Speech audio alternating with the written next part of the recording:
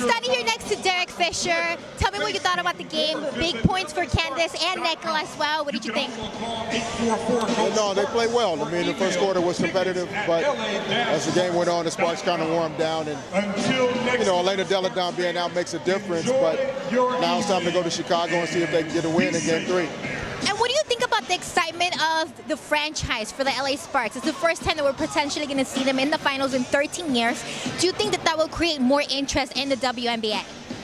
Well, I think we all kind of tend to gravitate towards success or things that we think are successful. So I think it would be great for the Sparks, for the city, uh, for women in general, uh, to you know, for the team to do well.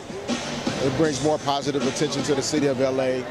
You know, I think Magic's you know doing a great job, and Penny Toler's doing a really wonderful job. They're well coached, and all things are positive. And I have to talk to you just a little bit and get your opinion as a former player um, about Simmons. It was announced that he got an injury today.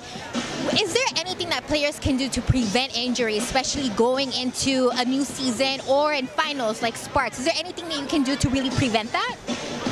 Well, you try your best to prevent, you know, injuries. Train hard, make sure you're in good condition, and take care of your body. But in sports, sometimes those things happen. And, you know, Ben Simmons seems like he works hard, so he, probably worked really hard this summer, and his, uh, his ankle kind of broke down a little bit, but he'll be back. He'll be fine. And lastly, I have to ask you, you're coming back to LA as an analyst for the Lakers. What are you looking forward to the most in being back here? Uh, being able to spend time with my kids basically every day. That's, that's the best part.